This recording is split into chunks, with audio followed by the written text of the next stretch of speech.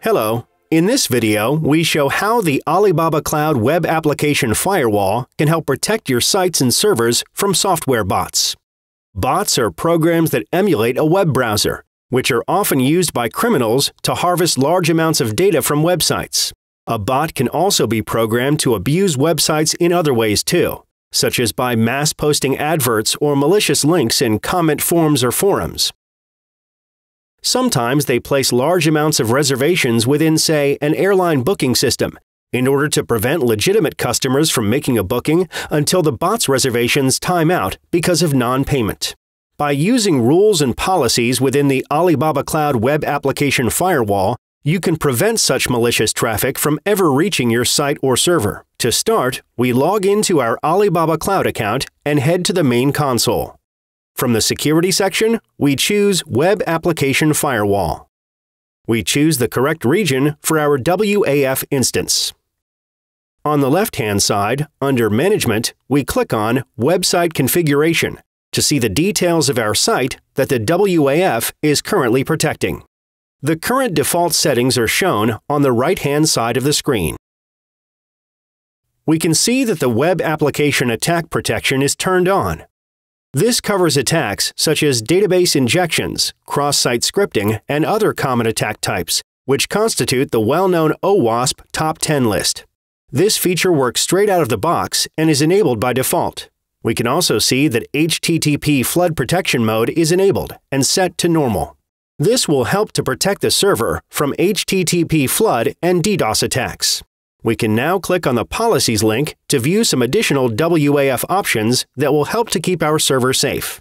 The malicious IP penalty feature is powered by Alibaba Cloud's huge threat intelligence database, which continually monitors more than 4 billion IP addresses and flags any which appear to be the source of unwanted traffic. To turn on the malicious IP penalty feature, we just click the switch so that it turns green. Now, if multiple connections are made from any suspicious IP address to your server, that IP will automatically be blocked for the standard period of 6 minutes. Another useful feature for protecting your website and server from bots is the HTTP ACL, or Access Control List. The HTTP ACL lets you create more detailed rules specific to the type of system you're protecting and the level of attacks you're facing. To add a new ACL rule, we click on the Settings link, then the Add Rule button. Assign your new rule a name, then click on the Add Rule link to start adding details. You can add up to three conditions in a rule, and the rule will be considered satisfied if all of them are true. For example, here we block access from IP address 123.234.55.66 if the target URL is reset underscore password.php. Images and videos on websites require a significant amount of bandwidth to host. Consequently, it is common for selfish website operators to link to graphical content on other people's sites instead of hosting the files on their own server. This is known as leeching. If you discover that a particular website is leeching images or other content from your site, you can create a rule to block it.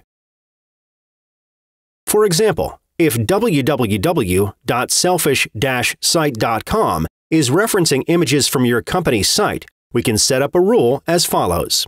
The requests will then be blocked, and users of the selfish operator's site will receive an error saying that the required image can't be found.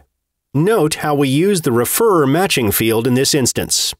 This video has demonstrated some of the anti-bot features of the Alibaba Cloud Web Application Firewall. The service is available on a monthly subscription and can be used to protect servers hosted with Alibaba Cloud or anywhere else. All that's required is a single DNS change in order to route incoming traffic via the WAF. You can find more details at www.alibabacloud.com forward slash product forward slash WAF.